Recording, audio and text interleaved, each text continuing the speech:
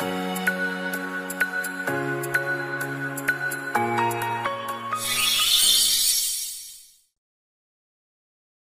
い、こんにちは、レトスノーノです。8月23日の3問に入る前にアドバイスをさせていただきます。失敗が人を成長させる。失敗のない人生なんて本当に気の毒だ。このように言ったのは、ホンダ自動車の創業者である本田宗一郎さんです。今の時期になると模試を行い、点数が出ないと焦っている方が多いです。しかし点数が取れないというのは失敗なんですけれども、誰でも点数が取れない時期はあります。点数が取れない原因は何かを考えて、それに対する解決策を立てて実行していく。これが重要です。点数が出ないから諦めよう。そういう方も中にはいます。しかし諦めたらそれで終わりです。あなたがそうでないことを願っています。それでは本日の3問に入っていきます。A の B に対する貸金債務について、債権者 B の承諾なしに A 所有の土地を持って弁済することができる、丸か×かという問題です。考えたい方は動画一旦ストップしていただいて、この動画の下の概要欄から問題文ご確認ください。で、答えは、えー、×ですね。大仏弁済をする場合、債権者の承諾が必要です。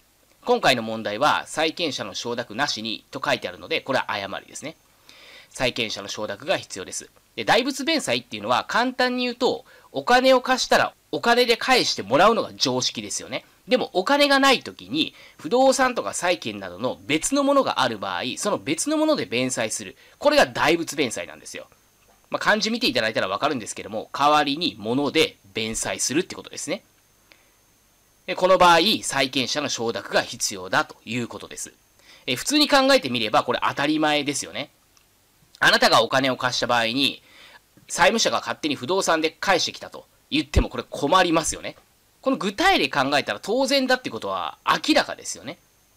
まあ、これは理解学習の中でも解説の理解っていう部分なんですけれども、これも一つですよね。理解学習の一つです。まあ、もっと重要なのは問題文の理解なんですけれども、まあ、無料の動画なので、その問題文の理解まではちょっとお伝えはできないんですけども、これも理解学習の一つなので、今後あなたがいろいろな問題にぶつかった時に、こういった解説を理解をするということを心がけて、まあ、こういった解説はあまり載ってませんので、そういった場合はもう調べる。専門書だったりとか、えー、まあ、ネットとかですね。で、調べるってことをぜひ行っていきましょう。で、個別書ではもうこういったところ調べずに、私の方で解説させていただきますので、もうどんどんどんどん効率よく勉強できるということです。で、問いにですね、免許の用費です。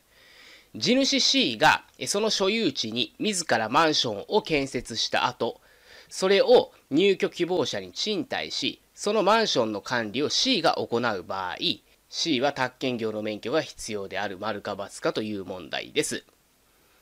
答えは×ですね。地主 C というのは自分のマンションを賃貸して管理しているわけです。自らが貸主だったり借り主になる場合っていうのは宅建業の取引には当たらないんですね。また、管理というのもこれも取引に当たりません。つまり C は宅建業の免許は不要なんですね。宅建業の免許が必要な場合っていうのは、宅地建物、取引業を全てに該当する場合なんですよ。今回取引、これに該当してませんので、免許が不要だということです。で、問い3ですね。A が自己の所有する市街化区域外の水田5ヘクタールに豚舎を建設する場合、都道府県知事の許可が必要である。丸か×かという問題です。で、答えは丸ですね。まず水田っていうのは農地ですね。で、つまり A は市街化区域外の5ヘクタールの農地を転用しようとしているわけです。豚舎に変える、農地を豚舎に変えるってことはこれ転用しますよね。ってことは、これは4条許可が必要になってきます。そして4条許可については、面積に関係なく、都道府県知事の許可を受けなければなりません。ただですね、あの、指定市町村の場合については、市町村長の許可を受ける形になります。で、指定市町村ってどんなものかっていうと、横浜市とか名古屋市とか大阪市とか仙台市とか、まあそういった大都市をイメージできれば大丈夫です。そして今販売している予想模試の解説の中身を少しお見せしたいと思います。あなたがお持ちの予想模試の解説、市販の予想模試や予備校の予想模試の解説とぜひ見比べてみてください。何が違うのか、またどうしたらこれから合格を目指すことができるのか、そこまでお話ししておりますので、左上の動画からぜひ内容をご確認ください。今年の合格目指して一緒に頑張っていきましょう